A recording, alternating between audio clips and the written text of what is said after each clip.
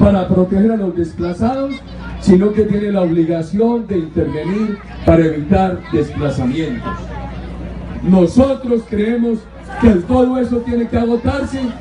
Esperamos que el gobierno de Colombia reaccione, que le quite el temor a la FARC y a la dictadura de Maduro y que proceda a cumplir sus obligaciones para defender a los colombianos que viven en Venezuela en la seguridad de que aquí jamás se maltrataría a un venezolano que venga a vivir entre nosotros.